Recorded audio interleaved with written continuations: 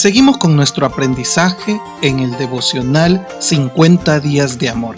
En este día 36 queremos llevarlos a la reflexión que Jesús mismo puso sobre la mesa al relacionar al dinero y a Dios, es decir, al dinero y al amor.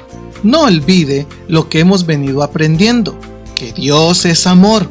Esa es su naturaleza. No permita que nada a su alrededor le quite esa gran verdad de su mente y su corazón. En esta ocasión estaremos reflexionando alrededor de Mateo capítulo 6, verso 24, donde rápidamente nuestro Señor Jesucristo va aterrizando su discurso de la importancia de tener un corazón más enfocado Déjeme contarle algunos detalles que le pueden ayudar a entender mejor este verso bíblico. Existen dos palabras dentro del texto que debemos analizar de manera detallada. Estas son servir y amo. La palabra servir proviene del griego douleu, que al mismo tiempo se deriva de la palabra doulos, que significa esclavo. Por otro lado, la palabra utilizada para Señor es curios, cuya mejor traducción sería amo o dueño de todas las cosas. Por tanto, las palabras ninguno puede servir a dos señores podría traducirse ninguno puede ser esclavo de dos amos. Recuerda que anteriormente le mencioné que este versículo nos invita a tener un corazón más enfocado. Pues así es, nuestro corazón no puede seguir a dos señores. Nuestra fidelidad debe estar alineada a uno solo. Todo el capítulo 6 de Mateo aborda la forma en cómo nosotros mostramos nuestra relación hacia con los demás, es decir, externamente, y cómo la motivación se convierte en un elemento importante en lo que hacemos para Dios. Nuestro devocional nos orienta para que pensemos en una premisa importante.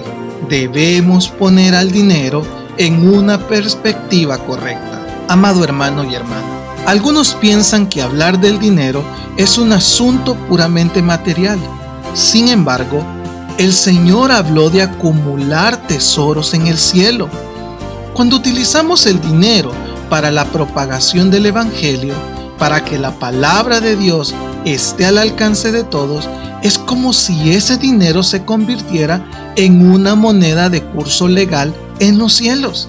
Al acumular ese tesoro en el cielo, tus pensamientos estarán más orientados hacia la morada de Dios y menos atrapados en el deseo insaciable de obtener riquezas, convirtiéndolas en un ídolo que pueda desplazar a Dios de tu vida.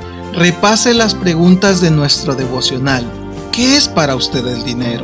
¿Es un Dios? ¿Es un medio para conseguir poder y seguridad? Le invito a acumular riquezas celestiales y las naturales utilícelas para el cumplimiento de la voluntad del Padre, tanto en su vida como en otras personas. Dios le bendiga.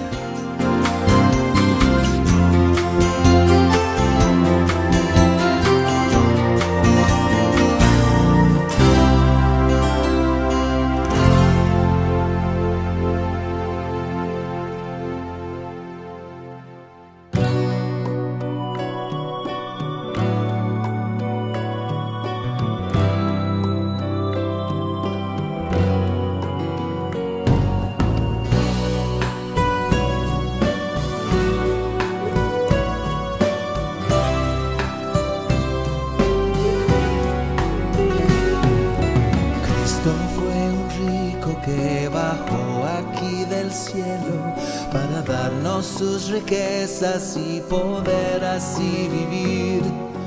Cristo nos ha dado todo lo que nadie pudo dar, de su vida a su muerte y lo hizo porque Cristo nos amaba